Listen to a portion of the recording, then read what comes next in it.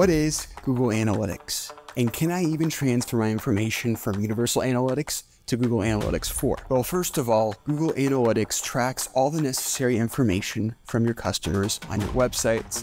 And this means anything from button clicks to form submissions to conversions and who is buying your products. As some of you may know, Universal Analytics actually shuts down in July of 2023, so it's best to start transferring that data as soon as possible.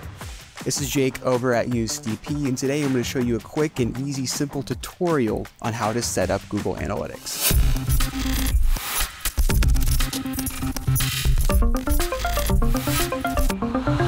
Why is Google switching over to Universal Analytics to Google Analytics 4? Well, this is due to Apple's new security policy. As you may have noticed when you go onto Snapchat or Instagram or any other social media app, there is an allow, don't allow feature on these apps tracking your data across different apps. And of course, if you're like me, you're going to want to click on that don't allow option. So I'm kind of like divided because as a personal user, I love that these apps don't track all my data, but as an advertiser, this means I have less data to go off of. Google Analytics 4 fills in the blanks with machine learning and artificial intelligence to kind of predict what certain customers and audiences will do with less data. So now that you guys know the lay of the land, let's start with this tutorial. So the first two tabs that we're going to want to have open is the Analytics tab and the Google Tag Manager tab. And you're going to want to log in into your business account in both of these tabs. We are going to start with how to create an account or property in Google Analytics. So the first thing that we are going to want to do is go to the admin section at the very bottom, select create account, and then you are going to name your account now I'm going to name this account right here, subscribe underscore USDP. You don't have to click any of these things if you don't want to, so click next. Name the specific property you want to track. Select the specific time zone and country that you're in, press next. And then here is the specific business information you want to fill out. Answering all of these fairly accurately will help Google better track your website. So I'll select the options for our company. Business and industrial, we are a company between 11 and 100 employees. So just for now, I want to optimize my site or app experience and I want to optimize my advertising cost. And we are going to select create. You want to click I accept, I accept. So now you are going to want to create a data stream. So for me, I'm tracking a website, so I'm going to press web. And so what you're going to want to do in these two options is, first of all, name your website and then put the URL of your website. So we are going to want to copy and paste the URL from your homepage of your website. So run it Command C, Command V, and then name this whatever you, want to name it. And after that, you're going to want to press create stream. So after you create data stream, a tab like this should pop up. So click on the tab. This whole page can be pretty confusing and overwhelming once you first look at it, but what you really want to focus on is the measurement ID. So just go ahead, Command C and copy. So after you copy that measurement ID, go over to the Google Tag Manager page. And in this overview section right here, press new tag, and then you're going to want to create a tag configuration.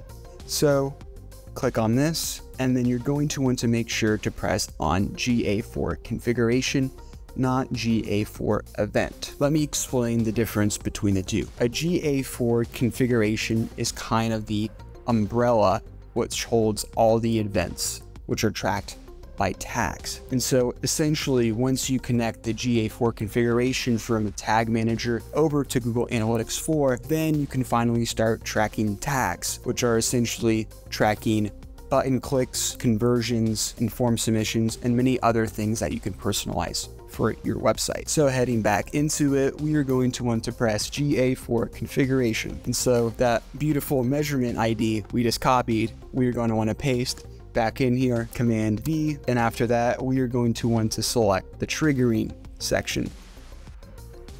And so if you don't have the option for all pages already, press the plus button in the top right corner, press trigger configuration, click page view and select all page views in this section. Press save, name it, press save. And then now we are going to want to press save, save that, go to the top right corner, press publish, and press continue. And then it should save the configuration for you. I'm not going to do that on our current website page just because we already have a GA4 configuration set up. And if I press submit again, that may mess things up. So on your guys' end, press publish, but I'm just gonna exit out of this after that, Google Tag Manager and your website should now be connected. Be aware that it sometimes takes between 24 and 48 hours for Google Tag Manager and Google Analytics 4 to connect, so don't be worried if nothing pops up right away. So now on to the fun part of the video. We are now going to go through all the new menu options in Google Analytics 4. Let's hop back into it. So, as you may have noticed, there are now a lot less tabs in the new Google Analytics 4. I know some people enjoy that, but Universal Analytics users are kind of annoyed because they think they are getting less data. So to get some of the options from Universal Analytics, we're going to want to hop in the Explore section of Google Analytics 4. So press Explore. So just as an example, we are going to want to go to this freeform section. And as you can see, this template automatically tracks where our users are coming from and our highest number of users are coming from Cincinnati. And there's also a plethora of different options on the side. So if you guys want to see a tutorial on how to set up a report, please let me know in the comment section down below. After you've had fun messing around with the Explore tab, we're going to want to go to the next best thing, which is the user acquisition section underneath the Reports tab. So select Reports, go to Acquisition, and go to User Acquisition. As you can see, this is where all our users come from. So organic search is when people find us through Google search, meaning they somehow find us through a blog post or just look up our name and then click on one of our links that direct them toward our website. Paid search is when they click on one of our ads and directs them towards our website. Direct means that they type in our full URL into the browser bar up above. Organic social is when people click on a link to our website through any form of social media. And email is exactly like what it sounds. That is when people click on our links from an email. The next important thing we are going to want to go to is the engagement section and press engagement overview. And this is where you can see the average time people spend on your website. And this is perfect for knowing what to better optimize on your website so you get higher retention for your users. And the very last thing in this section is monetization. And this is perfect if you're an e-commerce business, you can track your conversions over in this section. And so the next part you're probably interested in is the advertising section. At USDP, we actually like to go over to Google Ads to track all of our advertising information. Google has a software program just built for this, and it's much easier using this program than trying to do it in Google Analytics. As you can see, as this is loading, there is much more information in this section for our ads like you have ad groups, you have campaigns, keywords, so many more things and you have in analytics. So this is what I like to go to instead of using the advertising section. And lastly, the configure section tracks certain events. So as you can see, it tracks the amount of clicks on our website, first visits, page views, etc. anywhere from June 27th to July 24th. And of course, I could adjust those dates. So if you want to learn how to track events and everything that there is to Google Tag Manager, click on this video right here. If that doesn't suit your needs, I'm sure you'll enjoy our newest video up above right here. This is Jake over at USDP and thank you so much for watching. Have a good one.